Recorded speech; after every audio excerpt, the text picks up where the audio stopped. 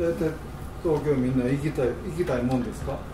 そうですね。やっぱり一回東京へ行って、うん。えーえーやってみたいな。あわよくばうん。ちょっと、えーえー売れてみたいな売れてみたい。なえーとこありますけどね、うん。というのはまあレコード会社も東京ばっかりやったりしね、その辺のこともあって、結構やっぱりね坂尾と言われてた。うん。そうそう大阪坂尾。俺ら東京は？道営どうへ？どう江戸江戸江戸。江戸の。京都とか言うの？ああいう。道営でも坂尾やっぱりなんか遊びに行ったら地方から来たら楽しいでしょとか言われたりしたこともあったからね俺俺も。ああそうかそうか。こ地方の野郎。もう一地方やねんな大阪はね。そうそう東京から見たらね。うん。そういうそういう意識なんやね、うん。はいはい。だからもう大阪の人間ってわざとその東京行っても大阪弁で喋ったりするじゃないですか、うん。ね、二通りなんですよ。大阪弁で通すやつと。うん。ね。うん。あのーか菅野君っていたやんバーカッションのね菅野なんかカルロス。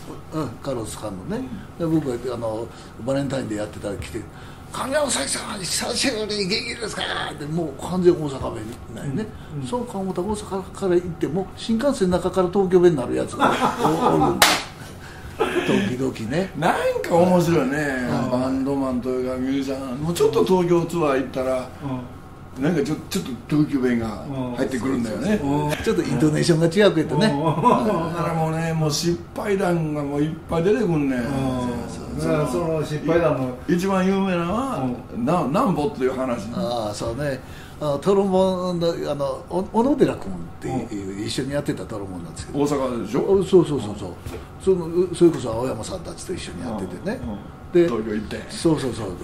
と東京行くから言って出て行って。もう多分ねあのすすぐそうなる人なんですよね。はいはい。あのこれあの見えひんと思うけどあのまず八重洲へ着いてどこ行こうかな。原宿やな。原宿。小野森さんやおのぼりです。でバーッとブラブラブラブラして、まあ、気に入ったものを見つけたらしいんですね。でそこで店員に「これなんぼだい?」って言うたわけですねそしたら店員が「なんぼってなんだい?そ れそれ。な」ね。なんぼってなんだいって。これ有名な話ですでね俺がねでポンタが帰ってきた時にその話をしたのよ。うん。ポンタはまあもちろん大阪やからね、でもう今は完璧に東京弁になってるけどポンタにその話したら「もう上はそれめっちゃ面白いよ。俺今から帰ってすぐそれ使ってみるから」オッケーオッケー言うて言うて」でポンタがた東京からあの、えータタクシー乗って家帰った時にタクシーの運転手にそれを言おう思って「ね、お客さん着きましたよ」なんぼだい?」って言うたよねポンタが。ほな680円。全然笑われへんかった。関西の人やったらかも分からへんな。ね もうその辺のね東京弁の話が腐るほどあって。なんかあの前にウェバーさんから聞いたけど、あのセント・ジェームスの田中さんの話田中さんもそうやね。なんかまあ東京行ってあの人も怖い怖い子はもてやからね。なんか街でこうなんかガーンと当たったらしい。ほんで「なんだよてめえ!」ってもう言われたらしい。田中さんが言うたことが面白い。何言っちゃってくれてまんねんって 何言っちゃってくれてまんねんってあ大阪ですか。それで話が丸尾さん。それはもう丸子の吹き出すの何言っちゃってくれてまんねん。くれてまんねん。って結構大阪弁って怖いみたいね東京の人はね、うん。はいカレー事件があカレー事件ね。事件というたらあれあだけどのヤヤング王であの先お話ししました。大妻講堂へ2ヶ月に1回ぐらい行くのかな。で八重洲に着いてで時間が早かったのでみんなでご飯食べるんで駅駅の中にあるレストランへ行って。なみんなまあまあ盛り上がってるわけですよ。古谷さん大塚さんえ皆さんね。で、えー、斉藤さんとか、まあまあ、みんな一緒にいるので。で、えー、上田がえー来たのであの「カレーライスください」って言って。だ最初誰が言うたの？僕はカレーライス。カレーライスください標準語やった標準語でね。ほんであの話が止まらないので「武田さん武田さんあの注文あの待ってはりますよ」って「あはっちゃん何言うたん？あのはちゃん何言うたん？大阪弁。やそうそうそう。でカレーライス言いましたよ言うたらそのウウエーターに「あ僕買ってカレ ほー」あウエーターが「あの僕買ってカレーはないんですが」もうね大笑いですわうこれね。ぼっかけカレーちゃうからな。僕買ってカレー。僕買って言いますそれ何回も何回も言うたんじゃん。いや一回だけ？いやなんでいやぼっかて。いやいやいや。いや僕買ってカレーってまたその話が盛り上がってもうたのに東京の人はねぼっかてっての分かれへん。霊光も分かれへんしね。霊光も東京はね。ね。大阪では通じてんやろ冷凍冷凍は大阪では。そうそうアイスコーヒーでしょ？東京は全然わわ霊光だって分からへん。言うてみたいな。冷凍。昔ねほんでバンドマンはねビーターっていうか旅が多かったんです。よもう旅先でいろんな恥かいてきたからね、もうおもろい話がいっぱいあって。大体はっちゃんの話で面白すぎるんだけどコンコード時代にあの沖縄行った？んあ沖縄ねあの船でえ飛行機で？あの船です。あ船で飛行機でも行ったんですけどね、船で、えー、6000トンぐらいの船かな、ね。それをあの 梅田モード学園やったと思いますわ、えー女性の学生たちが真夏ですよね、えーと、えー乗り込んでそのそれを貸し切って沖縄まで行くんですね。奄奄美大島の港に1回入るけど、えー沖縄に那覇港に入ってで我々古谷さんのバンドは、えーな那覇のグランドキャッスルでディナーショーなんです、岸岸岸恵子さんかな、のディナーショー。1回目はね。で2回目はまた違います。3回ぐらい行ってるんですよね。で、えーそのあのモード学園の学生たちはまた違うえーあのスケジュールで。でまた3日ぐらいその経ってその船でまた演奏しながら帰ってくるんですねそうすると、えー何回目かちょっとあの記憶があの定かじゃないですけど台風が来てるわけですよね、揺でれたんや、はい、赤明石から、えー紀伊水道を抜けてた、えー太平洋を出てそのまま、えーいわゆるあの奄美まで行くんですけどもうそれはねあの台風が来てるので外洋外洋やもん概要ですでよくよく出すとあの安定するらしいんです。ところが早う行きたいから出さないわけですね。そしたらまあピッチングローリング全部で、はい、で初日はあの夕方からまあ演奏するわけですね。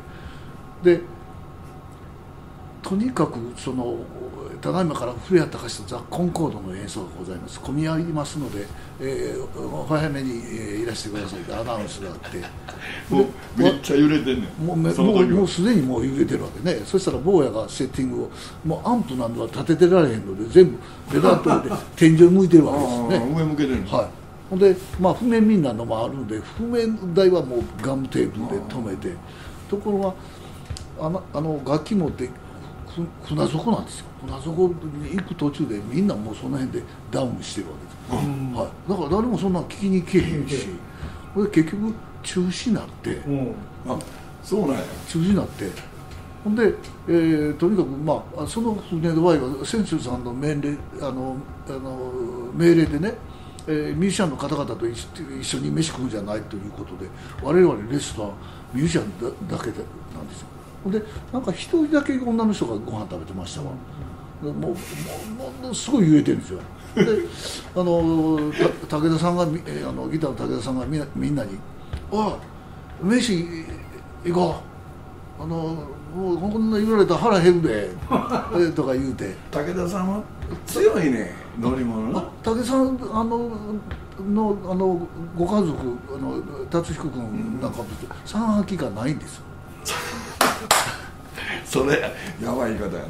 うん、武田さんやや行ってセスナに乗って宙返りしてもらってああもうなんかえ目目がガーなって見えんようになるようなえ宙返りしてもらって楽しんで帰ってきた。平気なんや。平気ない一族一族。一族は。で古谷さんはめっちゃ弱いはずや古谷さん弱くて確か。あの真っ青になる飛行機に乗ってもこう首をこないしてはんねんこうするとなんか保てるらしいねだけどだんだん揺れがは激しになると顔がたくあん色になってる。古谷さんは。タクがいるなんたでくあん色なんか黄色になるよね。弱いね。あ弱い僕も弱いけど僕もできたら乗りたくない。先生であ船も。古谷さんあっちゃもんぜ僕はね三半期間あるんですけどね。ものすごい敏感すぎて奥シー島の地震をね神戸で分かったんです。あ。あ地震や自信わかるよな。俺には分からへんけど、はい、ほんで、えーあの演奏終わって、そしたらニュースで架橋君とやってる時、うん。架橋が「はちゃん地震起こしと言うてるわ」せやろ?」って「俺分かんねん」って、うん、だから先祖なまずみたいな。微妙な揺れやな。微妙。にわかんそう敏感そやからあの揺れに弱いんですよ。船のもうなんかこう微妙な揺れに弱いんですまだガーッと揺れてる方がまだいいから。ああそうやね、はい。あの小さい船と大きい船うん。揺れからね。全然違うあのドーってこんな揺れやからねきつく悪いねん。そうそうそう。小舟はもう釣り船はこうやからね。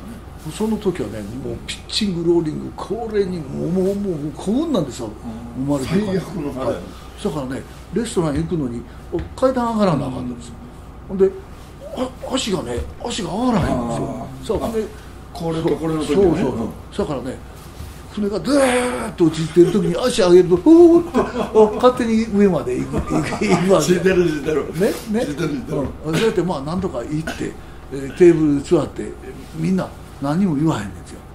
もうとにかく、えーお海の底におるみたいなおーなったりしてるから僕はもうもう当然ダメなんで何も食べられへん。ね。でそうやねんけどおいこんな武田さんが「おいこんな時はな刺激物刺激物がええねん」刺激物。がええねん。でカレーか？カレー。ね？またもうカテカレーみたいな。カレー大塚さんも古谷さんもなんやハンバーグやなんやで言うてテーブルの上にいっぱい並びました、誰も食べられん。武田さんとその女の人が一人食事してあその人はもうフォークとナイフで肉かなんかバカバカ食ってその人は奄美大島で売りはってあねげ現地地元の人や。地元の人や。ね？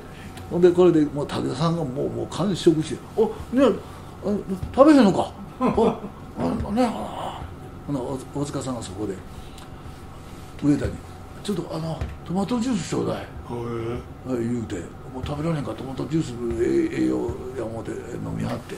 で結局みんな残してちょっと手つけただけで食べられへんで、でレストラン出ました。ほんならそこで大塚さんがトマトジュースをピューンって。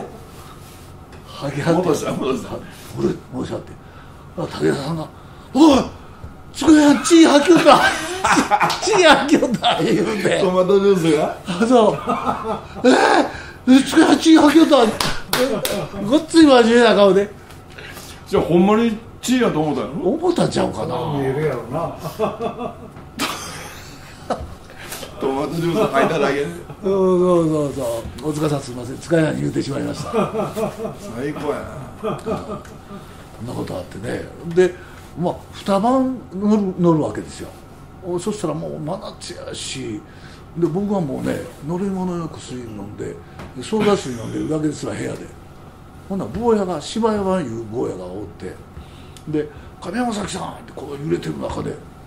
であの熱い風呂であの湯湯張っときましたからあの入ってください。スッとしますよ。あそれもそうやな。思ってこう揺らりながらバーッと弱いのに行って風呂のドアバーンと開けたら湯とカーテンがガーッとその景色見た途端うわーって僕はそこでダウンですわ。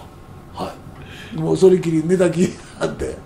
で結局沖縄着くまで演奏なしで、あはい、できへんですよね、もはバスタブが湯が斜めに対角線上に入ってる。い、そうそうそう。気色悪い光景やなもう確かに。あれで一発はかんかったね。あ三半期間あるから。武さんは大丈夫やと思う